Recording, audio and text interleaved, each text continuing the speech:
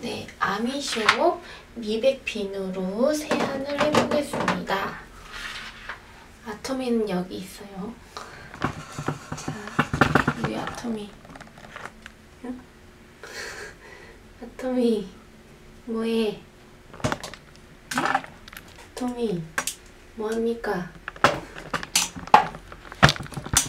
네, 세안을 하기 위해서 아미쇼 비누를 쭉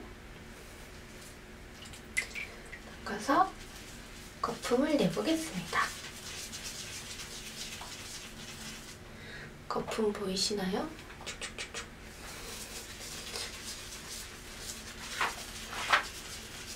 얼굴에 여드름 자국이나 칙칙한 피부에 좋다고 합니다. 얼굴에 발라보겠습니다.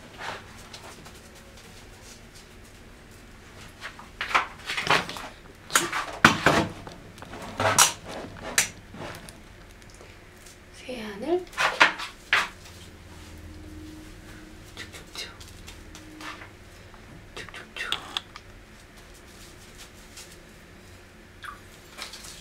피부 거품을 내서 쭉쭉쭉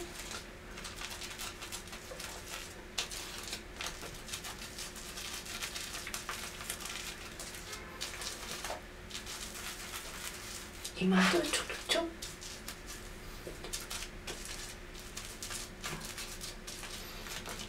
쭉쭉쭉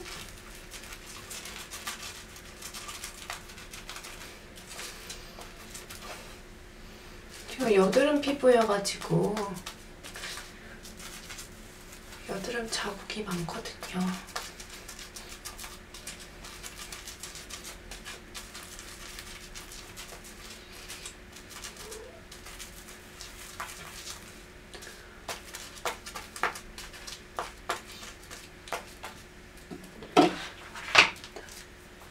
비누칠을 해보았습니다.